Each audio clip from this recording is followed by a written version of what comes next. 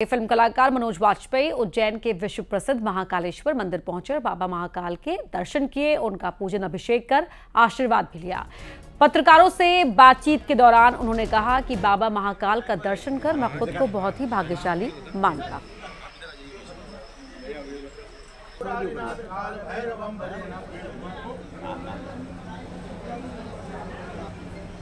कौन सी मैंने क्या मांगा ये तो नहीं बता सकता व्यक्तिगत है लेकिन महा महाकाल के दर्शन हुए सौभाग्यशाली मानता हूँ अपने आप बहुत बहुत धन्यवाद।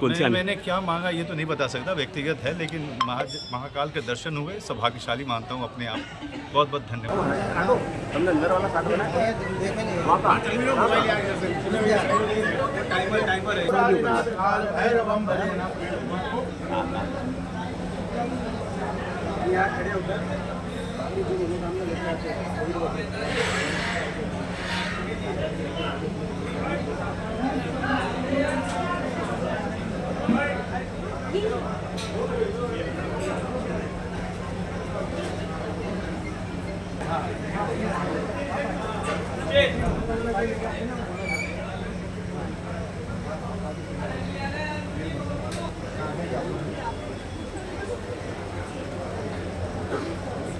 महाकाल महाराज की जय।